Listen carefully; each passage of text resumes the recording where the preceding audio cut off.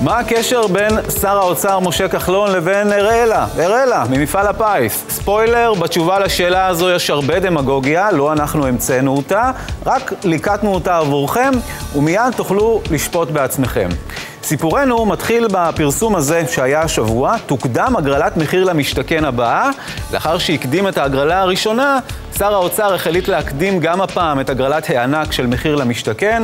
המהלך הזה עשוי, אמור להקל על זוגות שלא זכו בהגרלה הקודמת, שיוכלו לקבל מוקדם יותר את הוודאות על הזכייה בדירה.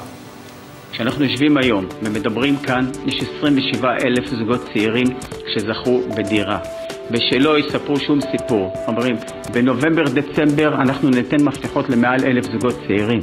מפתחות. בכל מה שקשור למשבר הדיור, פועל שר האוצר במציאות קשה מאוד. זה תפקידו, על העניין הזה בדיוק הוא נבחר. גם הכישלון או ההצלחה יהיו נטו כחלון. שר האוצר יודע את זה, ולכן אי אפשר שלא להתרשם מהרצינות והנכונות של כחלון לעשות את השינוי. מולו עומדים חסרי אונים הקליינטים הכי מורכבים בציבור הישראלי, הזוגות הצעירים. בית, משכנתה, מעונות, צהרונים, ילדים. וגם אם נטו כחלון זה רק כמה מאות שקלים בחודש עבור משפחה צעירה, אי אפשר לזלזל בזה. אבל פתחנו והבטחנו דמגוגיה, הקשר בין כחלון לאראלה ממפעל הפיס, זוכרים? אז הנה, דמגוגיה מספר אחת.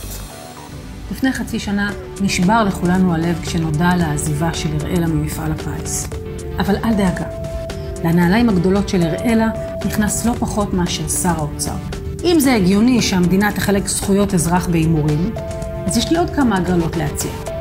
בדיקות MRI, קיצור תורים לניתוח ורופא מומחה במחיר למתרפא, יום לימודים ארוך וכיתות קטנות במחיר למתחנך, קצבת נכות במחיר למשתכן, תחבורה ציבורית איכותית, אולי אפילו בשבת, במחיר למתנייד, וקבורה במחיר למתפגר. מחיר למתפגר. טוב, זאת רק הדמגוגיה הראשונה. אה, אל תמצמצו, כי מיד תגיח הדמגוגיה השנייה. סרטון שלם של כמה דקות מקדישה היום חברת הכנסת אה, מיכאלי למשה כחלון. המוטיב המרכזי, שמעתם? כחלון זה כמו אראלה, מתעסק בהימורים והגרלות. נכון, מיכאלי היא חברת אופוזיציה, זה תפקידה לבקר. אפשר עם דמגוגיה או בלי דמגוגיה, אבל מה עם החלק הנוסף בתפקיד האופוזיציה? האלטרנטיבה, כך הייתי עושה אחרת במקומו של כחלון. למיכאלי אין בסרטון הזה ולו הצעה אחת לפתרון. כחלון זה אראלה, ותנו למיכאלי בכפיים, וכנהוג אצלה, גם בכפיות. אבל רגע, מדוע להסתפק בדמגוגיה אחת, אם אפשר באותו מחיר של סרטון לקבל שתיים? אזרחיות ולאזרחים במדינת ישראל, לכולנו, מגיעים שירותים חברתיים אמיתיים מהמיסים שאנחנו משלמות ומשלמים. מגיע לנו שכספי המיסים שלנו יגיעו חזרה אלינו, לא למאחזים מבודדים של זורקי אבנים על חיילי צה"ל או למקורבים של ראש הממשלה. אה, מאחזים המבודדים, המתיישבים, המקורבים. ראיתם מה זה? שצריך להוזיל את מחירי הדירות לזוגות הצעירים במחיר למשתכן. שוב פעם באים המתיישבים והמקורבים ועושים עלינו סיבוב. מאיפה הכסף הזה מגיע? זה לא חלילה ממיסים שלכם.